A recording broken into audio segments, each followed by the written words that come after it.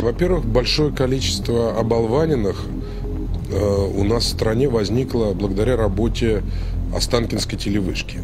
Я все-таки думаю, что ложь и замалчивание правды – это главная причина, почему русские люди поддерживают Путина. Все, что можно было сделать, чтобы Украину сделать врагом, Путин уже сделал. Все, что можно было сделать, чтобы Украина побежала в НАТО, э, Путин уже сделал. Все, что можно было сделать, чтобы Украина никогда не вступала в таможенный союз, Путин уже сделал. Вообще все те цели, которые он ставил, да, э, внеблоковый статус, там, таможенный союз, добрососедский, эти все цели полностью провалены его же политик. Почему воюет, кстати, тоже более-менее понятно. Первое.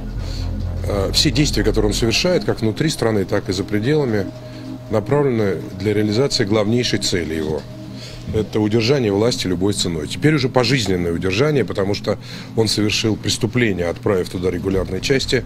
А второе, надо понимать, что он мстит Украине за антикриминальную революцию, которая там случилась.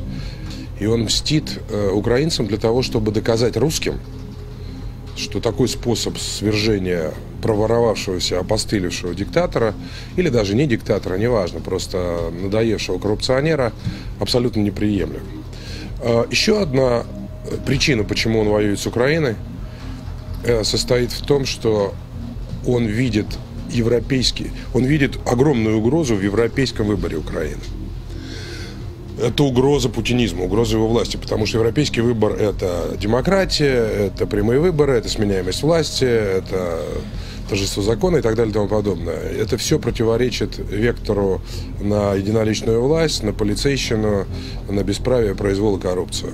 Поэтому успех Украины на европейском пути – это, конечно, катастрофа для Путина, и это шанс для свободной России, собственно, повторить этот самый украинский путь хочет создать марионеточное государство, э, которое называют Новороссией.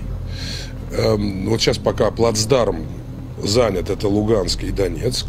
Дальше вторая задача – это попытаться прорваться, собственно, к Крыму. Для этого, собственно, они готовятся к штурму Мариуполя и они Новоазов как раз захватили на днях. Кроме того, им еще нужно Херсон и э, Запорожье, там, я думаю, будут большие проблемы. Я за то, чтобы прекратить воевать с соседями, я за то, чтобы заключить мир с Украиной, перестать угрожать Казахстану, не трогать даже Лукашенко, чтобы э, вокруг нас был мир и покой, чтобы мы занимались школами, больницами, дорогами, пенсионерами, чтобы мы занимались наукой, культурой и образованием. Я за это. Это пятая колонна сейчас называется. Да?